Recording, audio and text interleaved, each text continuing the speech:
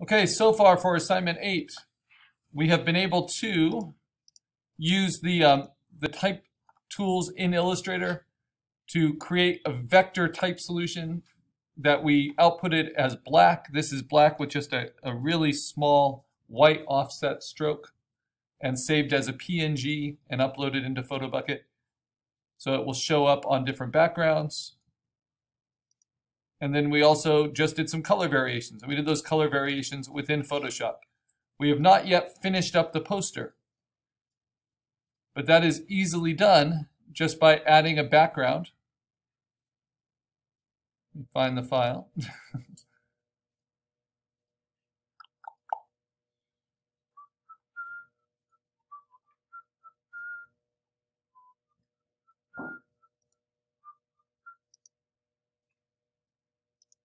So we can basically take this PNG.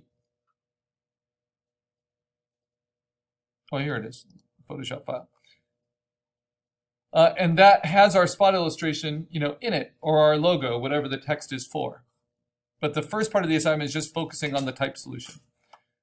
So adding a background is pretty easy, but you need to be inspired. And so um, you can often look at existing posters, you know, different things. We're gonna, I'm gonna use some of my compositing skills here. I'm gonna remind you about a Redbubble, which is under your links as well. And that's an option for you to, to see how your images would look on a variety of products and backgrounds. And so I have the unicorn concept illustration here without the text, with the text, right? So if I look at that, then I scroll down to these other products, I'll get back to you in a second.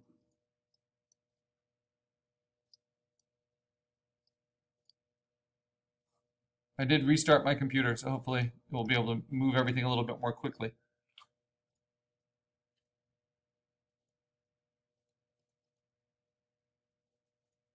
So if I look at these different products,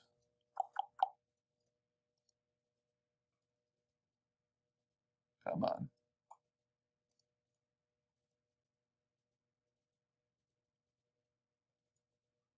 I was actually pretty curious about how it looked on the canvas bags. And I liked that kind of color. So here we see the latest one, right? So I might want to use something like that as a background for a poster. A poster with just a pure white background is not all that interesting. So I'm going to turn on my spot illustration. I'm going to turn on um, my gray background and turn on all these different coloring options from assignment 7. The color holds, the whole shebang. Whatever you decide you want. And then I get to decide if I want the black text or the colored text or something in between. Right? I think I liked that. And sure enough, that's what I that's what I uploaded. So now I need to make this poster size. And remember, we made our spot illustration to be at least 12 inches by 350 pixels per inch. So our poster is just going to expand the canvas size around that. And so right now it's 14 by 16. I'm going to go ahead and make it uh, 16 by 20. So 16 inches wide by 20 inches tall. It's a good standard size as long as it's larger than 12 inches, you know, 12 by something, you're fine. Uh, there aren't particularly standard poster sizes that we can print in the class, but 16 by 20 is the closest to a standard size we can print in the class, because we can print up to 17 by 22 inches. The other thing we want to do is refill that. So I'm going to take the gray background layer and fill it once again with gray. So that entire 16 by 20 by 350 pixel per inch canvas is filled. And then I'm going to go ahead and increase the canvas size one more time to go to 17 by 22, the full printer size. And that's going to give me a border. So what I want your posters to have is not just your type solution and some sort of image that you created, either your logo or your spot illustration, but also a background and also a border, just a blank white border. Now for the border, I'm going to go to my blank white layer. I'm going to unlock it, and I'm going to say Edit Fill with 100% white. So if my border were just a flat gray, then I'd be done. And of course, you can arrange your, your graphic and your type any way you like within this poster, and it can be a horizontal poster or a vertical poster. But the problem is the gray just isn't all that interesting, right? But it's more interesting than plain white. It's more interesting than black. I don't really need the black anymore. So what can I do? Well, I can make a copy of the of the gray. I could select it all using the magic wand, right? I could paint it like we painted the sky and maybe paint with a gradient. So let's see. Use my dark sky gradient. Hmm, Ooh, it's nice. It's only at 39% opacity. Let's try it at 100%. Or I can try it at 76%. Go a different angle. Ooh, that's nice. So that's one way you can get a background for a poster. Because it's digitally made, that background is going to be perfectly clean. And you see how the drop shadows and any effects for your spot illustration or your type are going to play against that nicely. And because it's a gradient instead of a flat color, it's going to print better on our inkjet printers. Since we're not silk screening this, we are printing it with dots. it's better not to have large areas of flat because ink inkjet printers, dot matrix printers, anything that injects dots of ink, it creates a pattern, even if it's a randomized pattern. And whenever you just do the same expanse of the same color, you're more likely to get tool marks in the printing because the pattern will just repeat and repeat and repeat. But if you put a slight gradation into it like that, um, that's a lot less likely to happen in the print job. Okay, so that's one option, but I can build on top of that. And now I'm going to be inspired by this, and I'm going to try to, instead of painting a canvas bag, I'm going to composite. So we go back to our compositing skills. And I want to look for a canvas bag as an image and I want to look for, this is a poster, so I want large. And then I want uh, like very large. And I wish, I'll put texture in. I wish you could still uh, go bigger, right? Uh, but this one is looking good. So when you put texture in, often you get some of these design options that people are uh, willing to share. But more and more of those are going away. They're actually still on the internet. You just have to look longer for them for these free options from sites that are Creative Commons sites like Flickr because they're more and more becoming stock photos, you know, with um, watermarks. So be careful of that. Here's a burlap texture. That looks very corn-like. I like that. It actually reminds me there's an artist named Ansen Seale, a San Antonio artist, who who did corn prints. He's a photographer, digital photographer.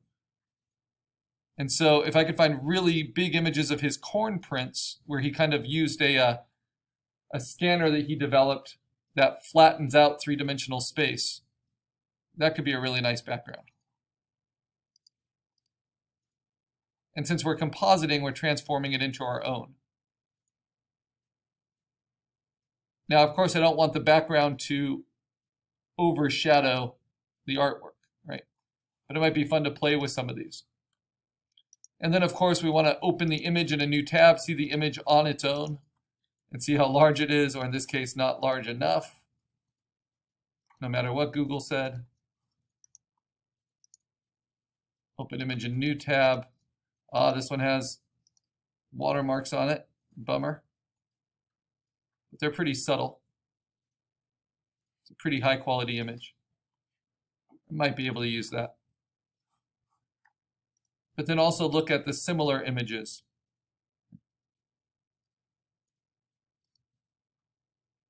Here we go. watermarks on that too. It's getting harder and harder to find. Let's see. Um,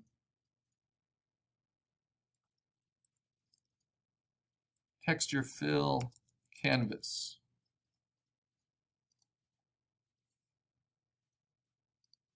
Free.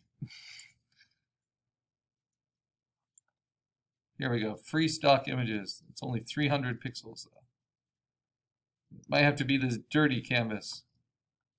Or this one. DeviantArt, always helpful.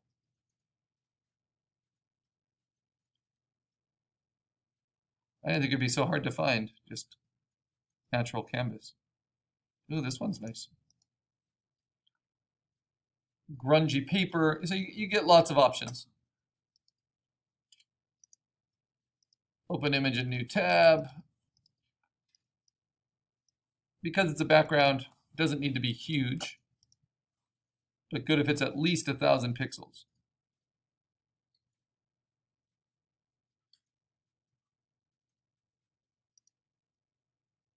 All right, uh, that's watermarks. This I don't see any watermarks on. Up they're there. Crazy. Stock photos, man. Yep. All right. But we can always make our own vignetting. We know how to do all that stuff. And this is another one. This one's nice and clean. I like that. Because we can always adjust the color. It's why we lear learned all those compositing skills early on. I can color this to look like canvas if I want to. Okay. And this does not look very big, so we might have to give up the Ansen Seale idea. Yep, that's terrible. but any kind of creative idea that you come across.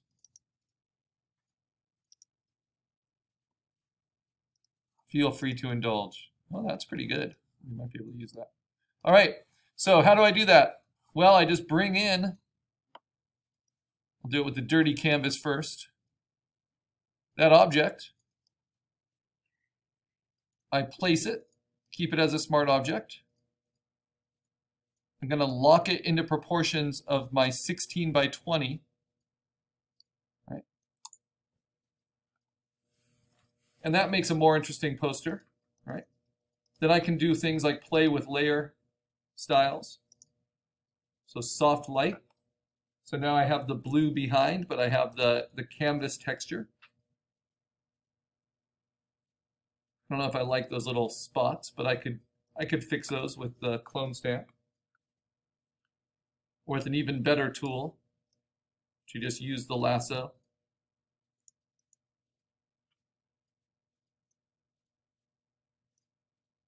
Do some of the big ones here. Lasso around it. Um, I first have to rasterize it to do this and say image or edit fill. And instead of fill with white, black, or gray, you say fill with content aware at 100% and this is like a clone stamp that will fill in patterns. So it should work great on this. So it just got rid of those stains right away. But the problem is it's like clone stamp. You'll get little copy pasty elements every once in a while. I'll show you that again just to get rid of that. Edit, fill, content aware.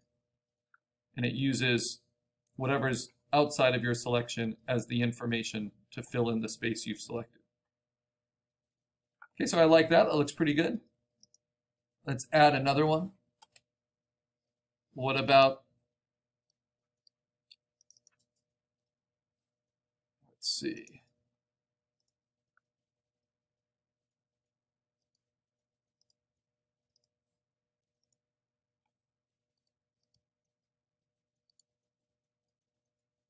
This is my only hack for these web photos is to just do the screen grab at the largest resolution they show. It's still over a thousand pixels at least.